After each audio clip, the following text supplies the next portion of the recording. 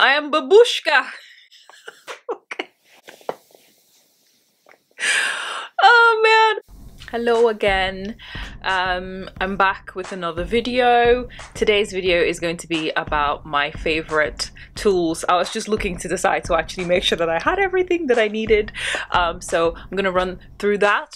But first, I just wanted to say a massive thank you to everybody who has subscribed to my channel so far. You might look at my numbers and you might say, well, that's not a lot of people, or, you know, you, you might feel like it's not something to be excited about, but I'm honestly I'm, I'm, just blown away. I just want to say thank you um, to the people who have left comments as well who have liked my video who may have shared my video as well who have said lovely things. I got this comment. I'm just gonna try and put it there. And um, it made my day because my partner literally was like what is the point? Like what are you trying to do? And literally this comment is is what I'm trying to do like help people and see if there's somebody out there that might just give their hair a second chance. So thank you so, so, so much. I can't thank you guys enough for subscribing, liking and engaging with my content. So thank you. Oh, also another thing is I made this cardigan I love making things and I made this and I want you guys to let me know what you think. Um, I also made the grey cardigan that I was wearing in my products I like video. It's one of the weird things I do when I'm like deep conditioning. I just like to crochet and I like to knit and this is a crochet. As you can see it's homemade because like why, why is there thread sticking out? Anyway, the reason you guys are here, the tools that I use on my hair that I feel have made a difference over the years. And the first one is obviously going to be an Afro pick. I didn't even have to bring this from this basket. Like I literally used this right before I started this video. I know that sometimes they get a bit of a bad rep uh, because people say that they're not good.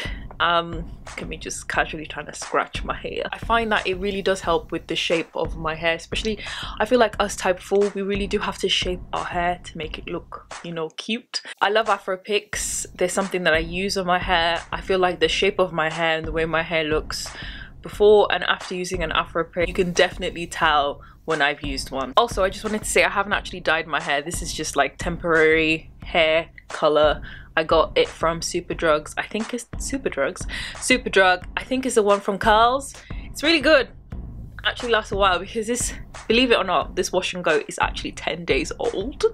Okay so my washing goes last a while. Like i have to make myself wash my hair especially if i don't exercise which i haven't done in the last week. If you want to know how i do my wash and go i do have a video on it anyway if you want to check it out. Um the next thing is uh bringing them up. There's quite a few of them. It's scrunchies! I love scrunchies. I use them to put my hair up but again i keep plugging this video but because I went through so much it's nearly 20 minutes that video and I went through a lot. And you will see at some point probably around the 15 minute mark I use scrunchies to stretch and shape in my afro you know when you do a wash and go your curls won't always dry how you want them to dry and I use scrunchies and I will insert a wonderful photo of myself I look amazing in that photo, don't I? Uh, I use these to shape and stretch and just style my afro and it takes the stress out of doing it in the morning and trying to figure that out. Once I set my afro with these guys, I'm good to go. Get you some scrunchies, they're so affordable and they will change your hair game. The next item uh, that I've got is this does anybody remember this logo? Because this is an OG natural hair product. So please let me know if you recognize this already. This is the Diva, I think it's the Diva attachable hood. Now mine looks a bit gross because I bought mine in 2016. Yes, 2016. So mine is years old. Wait, no. Oh, no four, two. it's giving set eight maths. Six years, I've had mine for six years. Why did that take me so long? It's the pressure, it's the pressure of the camera. Anyway, it has uh, a little tube and you attach that to your hand dryer and then you put the hood on your head and it helps dry your hair. And I like using this because I've said this in previous videos my hair doesn't look right if I don't dry it to the bone. My hair needs to be bone dry in order for me to style it properly and for it to have longevity as well. And using this helps because I think I can be a bit more flexible when I use this as opposed to the next item I'm about to show. I feel like people have been skeptical about it because people are like you know does it not slide off your hooded dry? Because I know some of them have been known to but I've literally had this for six years. I finally did the math. And like I don't know what they use to make this but it has this non-slip gosh will it ever blooming focus? It has this non-slip attachment to it and this elastic I mean touch wood but it, it it just it's just stayed the same. Like it still fits on my hand dryer quite nicely so very very pleased with that. I'll just mention my hand dryer. Again I've had this since 2014 so that's six eight years guys i'm really bad at maths. Like i'm sorry. I'm sorry. I saw another youtuber. She had this long 4C hair and i was like obsessed. In my head i was like oh my god when am i going to have that hair length? It's called the koku brand and she used it to blow dry her hair. And in my head i was like if she uses it and her hair is long then my hair will grow to the same length as hers. That's not how hair works and I know that now obviously but it is actually a decent dry like it's lasted me donkeys like eight years. Not bad. The next thing I have to reach over to this side because it wouldn't fit is this can you see? So this is a desktop hooded dryer and it's portable. You it, it folds but it kind of like extends up and I've had this baby for a year and a half now. If I want to dry my hair and I want to really make sure that the shape is just I'll use that because when I use this I have to sort of squash my hair into it whereas this allows my hair to dry in a certain shape. Did I say desktop hooded dryer earlier? I did, didn't I? If I dry my hair with the tabletop hooded dryer, it's better, but it's slower. So there's a trade-off. I, I kind of swap between the two. I will say this though. This is like 14 pounds. This is nearly 80 pounds. So you know, I want to show something that's not at the top at the moment and these are detanglers. These are the only two things I use to detangle my hair. I used to be a wide tooth comb warrior. Like I used to wear the... Where? Where's my head today? Do you know what? I haven't had hot chocolate. I want hot chocolate and I told myself if I filmed this video, I'd make myself a nice cup of hot chocolate. Now, I've been natural all my life. I've never relaxed my hair. So I've always had to use a specific type of detangler. And wide tooth combs, like I used to use the wooden ones from back in the day. I just don't think that they do what I need them to do any longer. So I don't use them at all. I love using this as my detangler. You've seen this before, you've probably seen those Instagram ads, you've probably seen this on Amazon. This detangler, uh, I really, really like it. I use it when my hair is wet in the shower. And the great thing about this is I feel like you don't need to section your hair as thinly. When I first got this, it had like a plastic thing on the back. Chuck that, what's the point of that? There's no need. I want the flexibility, obvi. Um, but the thing that I think is really important with this guy is that you need to use big enough sections. So like, try it on bigger sections because there's some people that don't like this. It used to slip and it used to catch, but it's because I wasn't putting enough hair in into it. This actually wants resistance. So really really like this. It cut down my detangling time. I don't finger detangle anymore. I used to finger detangle and i've stopped. I don't feel the need for it. It doesn't make any difference to the health of my hair and that is because i'm using this now as my detangler. The other detangler i like using is a youtube og this is the felicia leatherwood brush. No, this isn't the knockoff that you can get on Amazon now. This is the Felicia Leatherwood brush.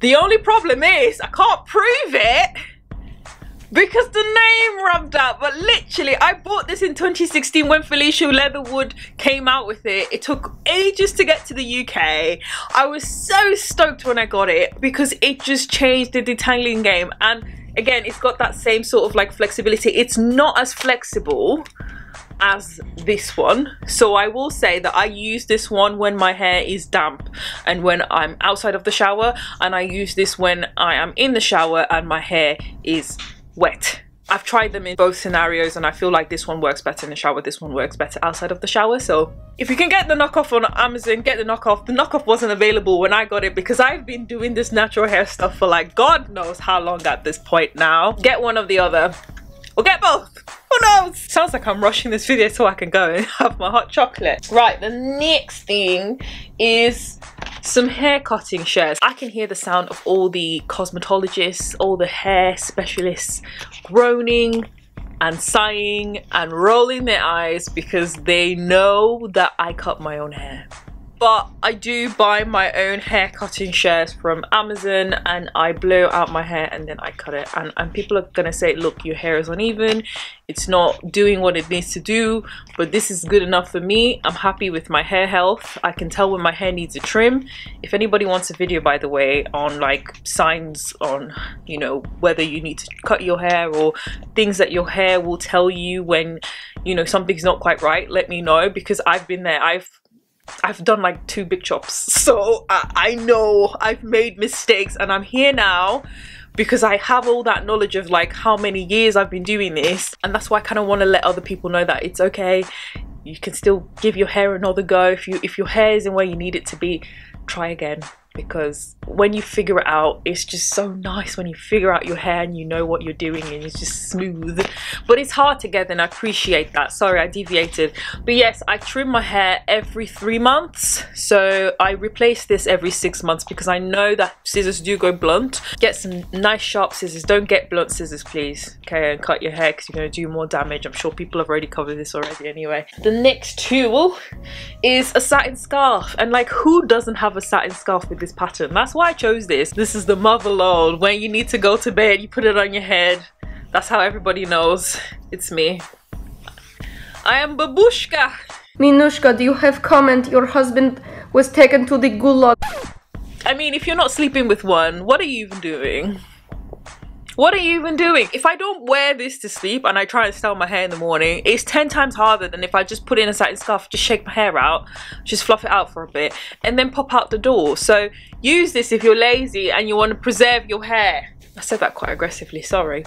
The next thing on my list has fallen to the bottom of the basket. Hair clips! I use these clips to section my hair when I'm washing it and I section my hair into four and I use four of these and it makes things very easy especially like if you're if you have a section and then you section that section and then you use the clip to clip it up whilst you you know detangling great I use these as well but I don't tend to use them when I section now see what I use these for is if I'm blow blowing out my hair I use this to kind of like weigh it down or like put it by my root to, to really demarcate where I've blown out.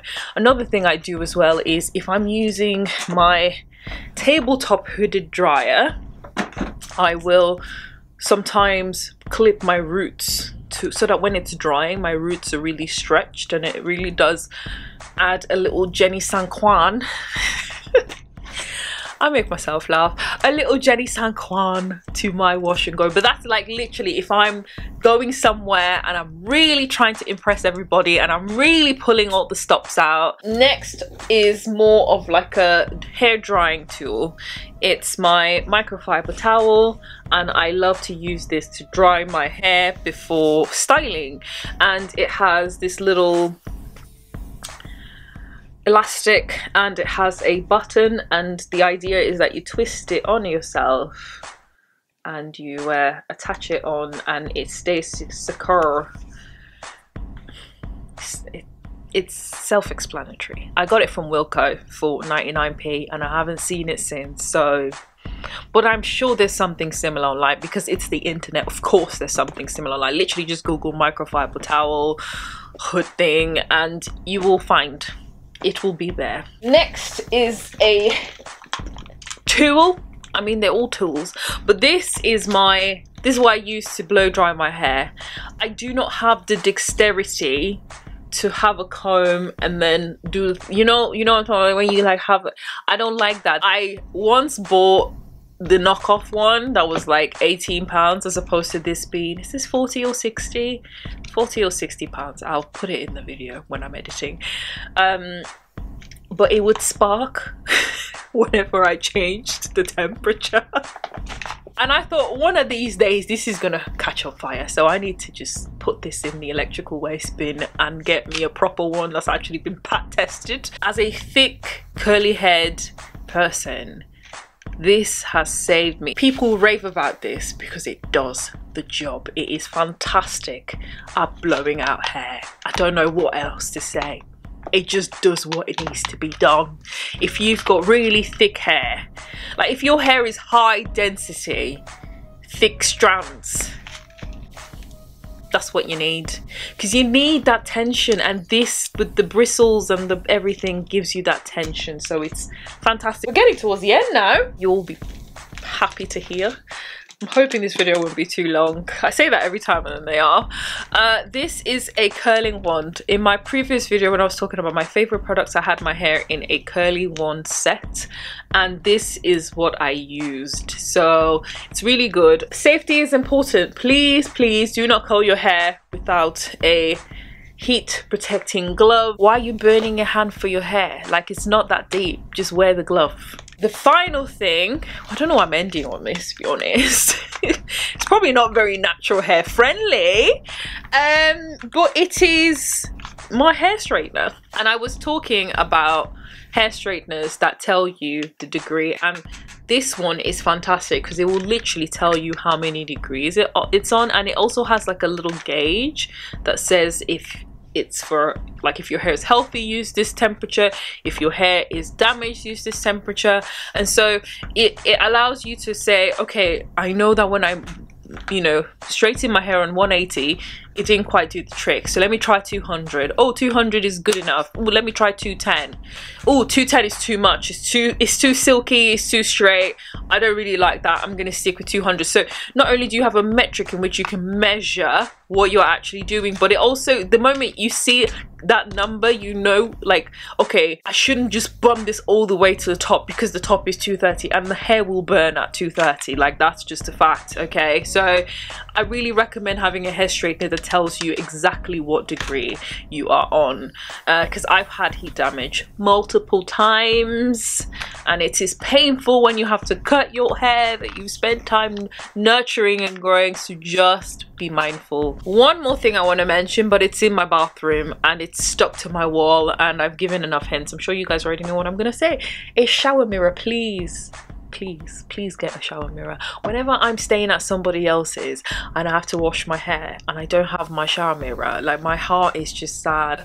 Like being able to see being able to actually know what you're doing not just going off touch is so important. Please get a shower mirror. I don't even know if, if people care enough to actually like me link things. Like should I link things that I, I have so that people can buy them? I don't know. But if you just go shower mirror suction on Amazon or wherever you like to get your goods and your services, you will find a shower mirror get one right now you're not doing your hair right you're never gonna do your hair justice if you don't have a shower mirror i'm not compromising on it okay and that's everything thank you so much for watching this video thank you so much for watching my other videos and if you like my content um, it really does help me a lot if you like and subscribe and share my videos and comment so you don't have to do all of those like literally if you do one I will be so grateful. So thank you so much for watching my videos. I hope you all have a lovely day wherever you are. Take care. Bye.